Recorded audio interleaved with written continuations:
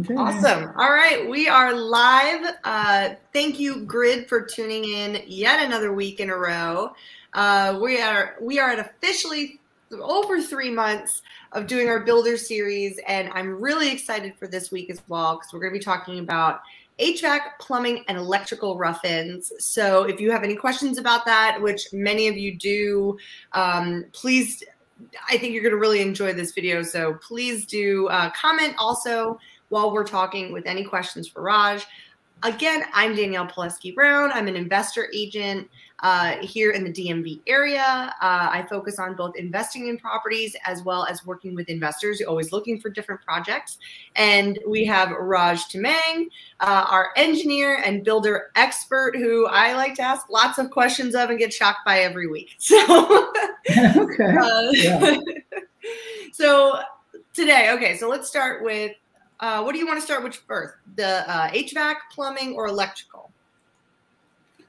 Um, I think we can probably start with uh, HVAC.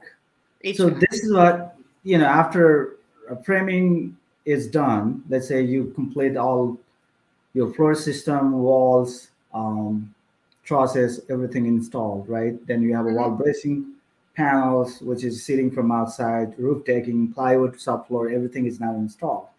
That next step is going with the roughing uh, for mechanical, which is electrical, plumbing, and gas, um, and HVAC. So the rule of thumb is you start with HVAC, okay, ductwork. Those are Yeah. the big items. Uh, once you install, then electrical and plumbing guys will come in and start doing their thing. Because if you have electrical and plumbing done, and the ductwork has a certain limitation because of the size, this could be big size, like at least 16 by 16, 16 by 24. Depends Yeah. how big the house are.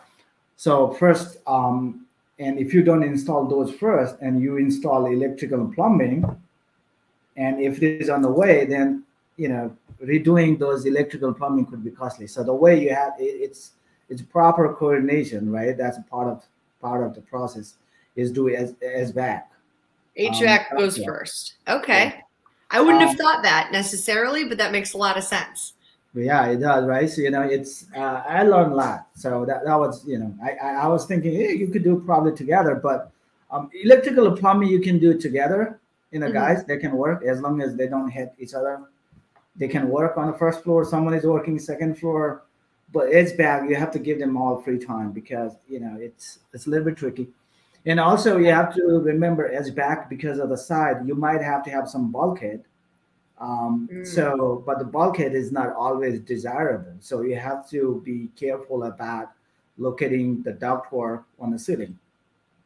Yeah. Um, I know most people don't like the look of bulkhead because it, it interrupts that line, you know, Yeah. that, that stream, the clean line of a, a room with all the same height ceilings.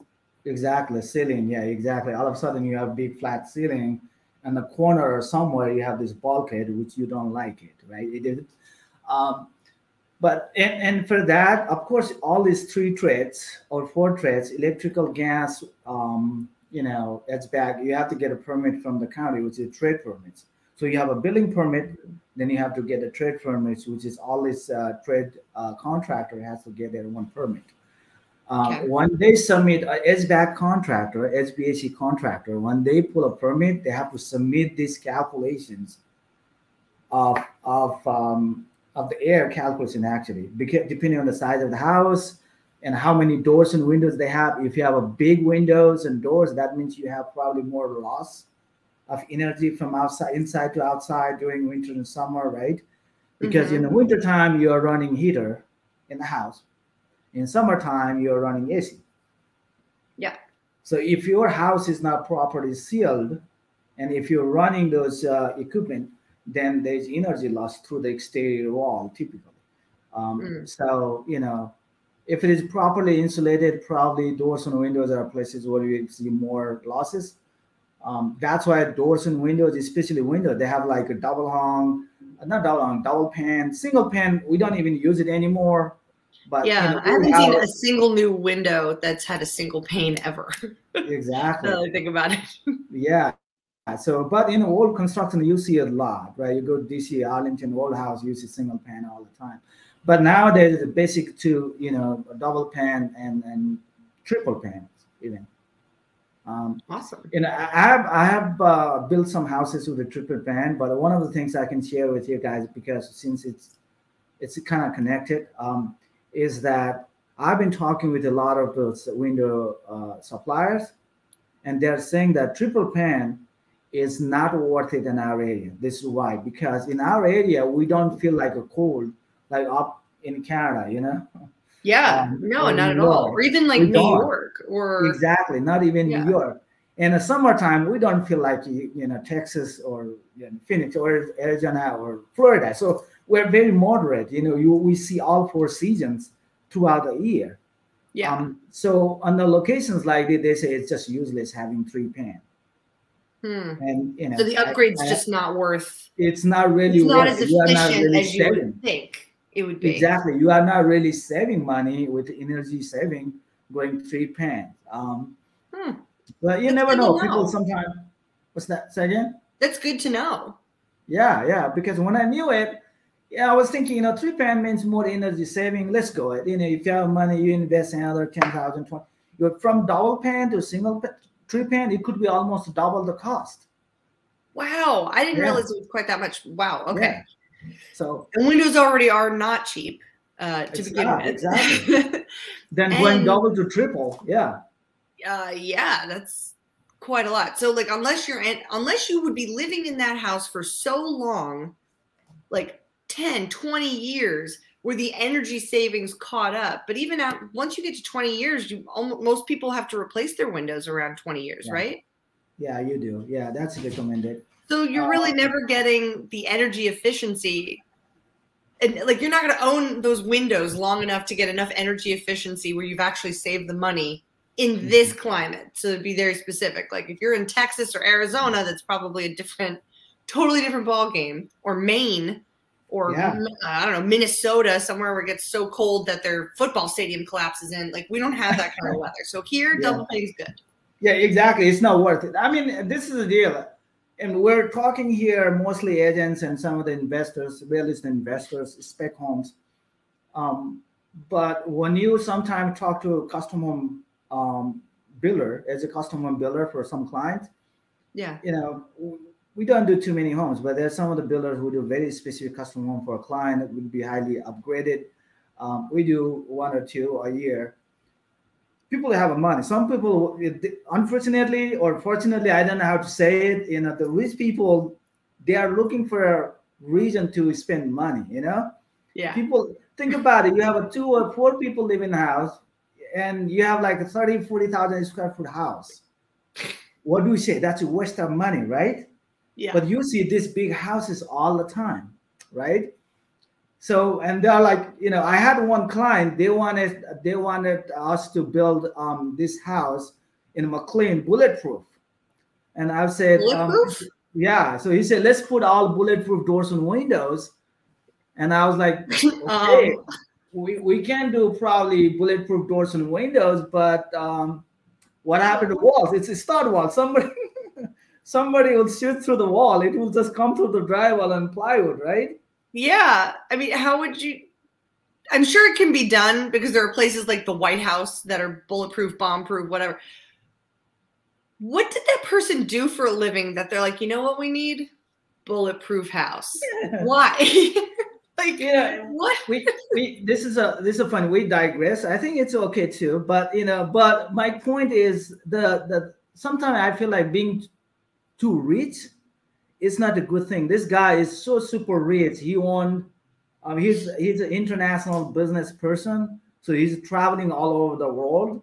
Yeah. Um, then, but you know, in terms of security, in the in especially in other countries like Africa, this particular guy, he is, uh, I think he is like he wants, I don't know, a couple of diamond Corey. I, I don't know. So he ah. he he been used to living in Saudi Arabia or living in uh, South Africa where the rich people they have like uh, you know you have to like 10 15 20 bodyguard bodyguard or something you know, for protection so he's so used to with with you got uh, used to McLean. around him huh second He's not used to McLean being no, it's not. no, you look at it. This is so funny. As I say, this is I just want to share this guy, and they have two kids, and he's just here, you know, occasionally only because he thought this in America has a good opportunity for kids to to grow and learn.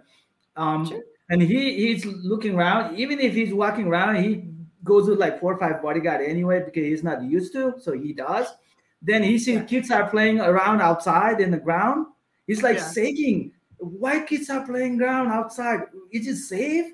I was like, "Dude, what are you talking about? This is what we do. You know, maybe we, we go outside." here. yeah, and maybe where he coming from, maybe those kids are not go outside and play freely, especially rich yeah. people. They're kidnapped and you know ask for some large sum of money from the parents and things like that. So yeah. I was like, feel like, oh my God, I don't want to have this. I want to have a money, but I don't want this much of money. So I don't feel secure to enjoy my life and scared, you know? Yeah. So yeah, but you know, going back again, yeah, you can do windows and doors maybe bulletproof, but the problem is your start wall. What are you gonna do? Uh, two by six? Do I bring two by six bulletproof? I, I don't think there is such a thing as two by four, know. two by six bulletproof. But then you can do a different type of material. Maybe you can do concrete walls. You know? Yeah. So all which are not cheap to have a whole house made of concrete. Concrete in yeah, the size yeah. that you're talking about. That's what I'm saying, Daniel. When people have too much money, they just find a way to expand it anyway. You know, they just sure. add features in the house. I, I just designed two houses for a client in Clifton, and one of my builder friend um, is building in Clifton. There's yeah. underground about 2,000 square feet area underground bunker. Um, so okay. he comes from another country where he um, from another country. is make actually Mexico City. He's come from there. He's a big businessman, and mm-hmm. their security is is a big deal for these people. So sure. he's so scared that he want us to build that underground bunker with all the concrete, everything. It, it's such that if something happens, he can go down there in a bunker and close everything up. He stay there for a month. All the food, all the supplies are already there. Wow. You know, that's how he's plan ahead. I was like, that's maybe two months, you know. But there are a lot of people are really getting into like uh extreme like a pot being prepared for an apocalypse. Like that's the new thing. Yes. I have some friends that have bought like those freeze dried meals and stuff. I don't know. Oh God, I don't know enough about it. Maybe I'm not maybe I should be looking into an apocalypse a little more. Right. being prepared. Yeah yeah, I think I think to me personally, they have too much to worry about. There are a lot of things that are not in control, um, and worrying about that does not really help you. You know. Yeah. A lot of oh, things oh, going sure. around us in school and shooting things like that. But just sitting here worrying about does not really help you. It is. It is what it is. What it is. You know. It is. It totally is what the moment now. That's how I truly believe it. That's what I tell everybody. Oh, I know. Man. My family. God, come on. It happens. Happen. There's nothing you can do. It's not in my control. But right now, I'm alive. I'm healthy. I can eat. I'm gonna enjoy as much as I can. Tomorrow, absolutely, with or without bulletproof walls. without exactly, yeah. I don't need a bulletproof. Exactly. I'll, I, no, it, it'll be all good. Well, plus also, yeah. if you had a whole house made of concrete, honestly, I don't think your your Wi-Fi would be terrible. Your cell phone service would be terrible. Because yeah, most commercial yeah. buildings are built like that, right? They have all this concrete and glass. Um, but we digress. We've absolutely digressed a bit. So I hope everyone enjoyed our apocalypse conversation. But okay, so HVAC, putting in HVAC first. Um, let's talk a little bit about the difference between gas and heat, uh, gas furnaces versus a heat pump. Um, what what are some things? Does that change any ducting, or is that really just the system itself, the HVAC system? Yeah. So um, so typically, house, um, even in a townhouse, like three level t- uh, townhouse, you'll say two zone, one in the basement, one in the attic. Um, so I, that's very common uh, mm-hmm. type of uh, you know two zone system, HVAC system in in our area, um, especially if there's more than three story, two story building, right? So typically mm-hmm. in the basement you have a furnace, heat furnace, um, heater. Then on the attic you put a, a heat pump right? Yes. The unit in the attic will feed or serve the top floor, which is second floor. The unit or heat pump, heat um, um, in the furnace, uh, gas furnace, gas furnace, not heat furnace. Gas furnace you install on the basement will serve um, your basement and first floor. Mm-hmm. That's how the ductwork works. So that's why you typically see ductwork on the basement ceiling, Mm-hmm. And that's why you will see bulkhead on basement ceiling. Now on the first floor, you usually don't see it. On Yeah. the ceiling, you don't need it because the your second floor is fitting from the from the attic, which is from the ceiling. So you don't see ductwork because ductwork is actually running in the attic trusses between the trusses, right? Um, now the first floor is feed from the basement with the your floor um, also floor vents are coming from the flat from the floor. So there's nothing coming from the ceiling on the first floor. It's Mhm. coming from the first floor floor, right? So which is coming from the basement. So you'll see mostly ductwork on the basement. So at least the doctor, you know, basement is not as critical as as the first floor. That's a good news. But again, you know, the basement, a lot of people they use for you know for recreation purpose in basement. Like Yeah. you know, gathering, you know, you have a wet bar, you have a media room, uh, home theater, you have a gym, all kind of things. So you have to be very strategic about locating the ductwork. So usually what I do is my guys that once I they prepare it, we go to the site, we have a meeting, come up with the game plan, which way we're going to run the ductwork. So that at the same time, when I lay out the room and the spaces, I lay I lay out it accordingly so that it doesn't look too bad. You know. Awesome. Um, Yeah. That's that's part of the process. Yeah.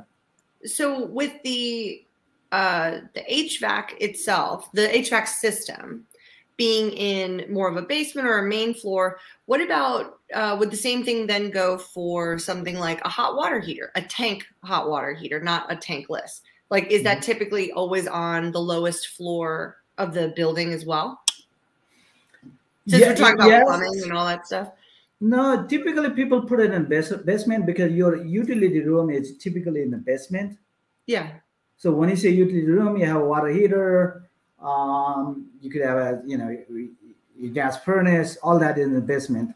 Um, because if you want to put it in the first floor, then you need to provide a room for the heater, right? Um, for the uh, water heater. Um, but one of the things is that even if you install water heater in the basement, the water pressure can go all throughout the house anyway. But Yeah. this is what happened if the house is too big. Sometimes, if you install water heater in one corner, going to the other side of the house, it may take time. So sometimes you turn on your uh, your shower and it takes like a minute or two minutes to get the you know hot water. Um, Yeah. that I have that actually in my house where it takes a minute or so because I have a tankless hot water heater, Yeah. but it's on the other side of my house. That's different story exactly. Because tankless is it, it takes a little bit of time to, to heat up. Yeah, yeah. yeah. Um, so there's two way of doing it. Um, even with with the big house, um, you can actually install. I don't know what to call the, their terminology, but there is a, some kind of pressure or a, a smaller tool you can install on the pipe system, so it Mhm. flows quickly. Um, But- Oh. but people don't do it. If it is big house, we do like 50,000 square foot homes, we do it. Maybe you have like two, three water heaters anyway. Um, but typically water heaters are gas, hmm right? Because it's more, uh, that's more efficient. It, it can heat up quickly. And even the gas, before I forget, um, usually, you know, your, your natural gas from Washington Gas, which is the share Washington Gas, now they have monopoly. They can do whatever they want to do it. I don't want to talk about too much. I don't want this. I don't want them to get angry with me because I have several projects going with them, but they are not one of those uh, people that people like, you know, any builders or homeowners. Um, but you know, we have to deal with them getting a getting a connection. Sometimes it may take weeks and days, months. yeah. Um, but you know, it is what it is. But like I said, when you get this connection, gas connection from from um, from Washington Gas, there's a two two psi. There's called two psi or seven centimeter column water column. So what that means is that the, the gas pressure coming from the main line. hmm So typically in the house, you can do uh, either two psi or seven um, centimeter or inch uh, water column. But the difference, in all the commercial construction, I have not seen anything seven inch, seven inch column water column. It is all two psi. Yeah. The residential usually uh, it's smaller house. Typically, standard house is uh, seven um, seven inch water column or um, but but the difference is the wiring or the piping. Usually, if you do two psi, you have to do that flex blue or not blue, yellow pipe. Yeah. Okay, that's for two psi. But if you want to do iron, like cast iron pipe, that's for seven inch. So when you go in the basement, you see that. Yeah, that's the big old honking pipe. pipe. It looks like Mario Brothers are coming in and out of it. Exactly. So that's that's the seven inch uh, water column pressure. Got it. Um, but okay. two inch is flex. Right now in my house, it depends. Usually, you know, it's a little bit cheaper with the water col- with the cast iron, but um, I have probably say 50 50 percent. Some of the house I have done, you know, two psi. The good thing with two psi, it can be, it, it is better, definitely a higher pressure than seven inch water column. Oh yeah, because it's a little big, yeah, if you're a big house, I recommend two psi. Um, and if it is a smaller house, it's okay. You know, it's okay awesome. with the seven inch water column. Um, and also, especially if you have too many outlets, you have a you know gas fireplace, two or three places. Maybe you have on the back, um, you mm-hmm. have uh, a hookup for um, grill, right? Which we do it nowadays. All the spec home, uh, custom home we do, we have a hookup on the back, so they don't have to buy you know propane tank from outside. Yeah. Oh, for you sure. connect to the main line directly. Things like that, I recommend to your PSI. But again, it's like you know, it, it's it's both. It depends, um, because whatever you decide, um, you have to coordinate with the plumber and let Washington Gas know because that's how they set up their meter. Got it. Um, Got it.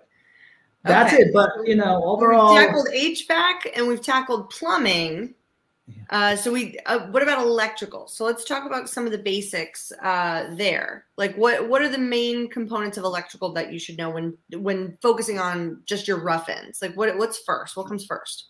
You know, the first thing you have to do, for example, um, usually now I would say pretty much almost all the homes we build is like 400 amp.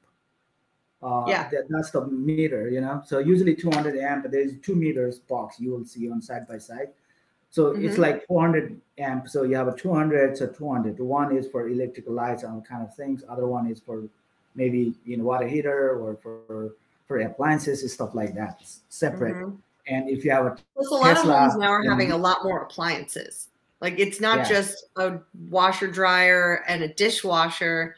Now it's wine fridges, washer dryers, maybe multiple washer dryers uh, multiple stoves, two ovens. Like there's just a lot more that is that homes are having now.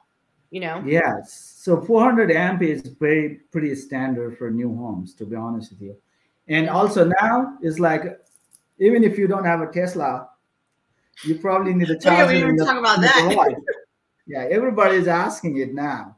So they want us uh, the plug for, for charger. So we provide for new house. We do it. We provide that plug anyway, because yeah. I know that you know the buyer will or homeowner going to ask anyway. So someone's going to ask at some point. Yeah, you have someone exactly. You just have to let let electricians know. Um, I mean, wiring. If you have, you definitely need a licensed electrician to do all the wiring because you have to pull a permit. Um, and absolutely. And, and when you do all the light switches and plugs, you have to two things you have to do. First of all, you have to comply with the minimum requirements. Um, switches really doesn't matter so much, but the plugs, uh, outlets, the location of the outlets and the spacing is is minimal required by code. You have to comply with it. But if you need any additional, you know, you ask for it. Ask ask the contractor; they can provide it. Uh, some of the things like if you have a TV if you want to put a TV um, uh, connection uh, um, on the bedrooms, and you want outlet somewhere on up on the wall, not on the bottom, maybe then you mm-hmm. provide that additional outlet. Um, like I say, we do a lot of structural wiring, which is your cat six, coax. Um, mm-hmm. You can do all of that too, because this is a perfect timing to do it. And and a lot of people nowadays they do uh, low voltage wiring for the house. Is if if it is when we build a house, we do at least the basic places, like in a, your master bedroom, maybe your family room, uh, maybe office, media room. You already have those structural wiring. But yeah. if you want more, maybe you want like you know security system whole house wired. Um, if you want um, your um, what do you call it, the sound system, right? All the wiring, everything done before. This is the perfect timing because if you want to do it after you put the drywall on, then it's not a really good idea because you have to cut the drywall Yeah. fix it. Yeah. Costs a lot more money to put it in after walls are up than you Exactly. do before. So really, I think what I when I talk to developers a lot about what fancy features, like what smart features should include should you be including as kind of standard versus Yeah. What's kind of extra. Um it one, I look at the value of the home at the end of this. What are we thinking we're going to sell this for? And really use that as like a comparable. Like, what things should we be putting in? I think things like Nest systems, like basic ones, are kind of standard, to, at least to me as an agent, or some kind of smart home app driven like temperature control, I think is kind of standard. Um, and a lot of people now are really enjoying the smart smoke detectors, smoke and carbon Mhm. monoxide detectors, which also alert you. So those are becoming maybe not in every single room of the house. Like that's something maybe more close to your kitchen, or maybe have one of those in your garage or something like that. Um, but we're finding more of those features in coming more than ever. But speaker systems, speaker systems are so hard to retroactively put in. they can cost Mhm, so yeah. much after you put the walls up. Um, but in some price points, they're kind of expected, or at least in certain rooms, things like dining rooms, family rooms, rec rooms, living rooms, those kind of things. Basements. Yeah, I mean, exactly. So, like you said before, um, the thermostat, right? The Nest or another brand we use, Ecobee. Ecobee brand is Yep, very those are great. Actually, I like that. I, that's what I have in my house.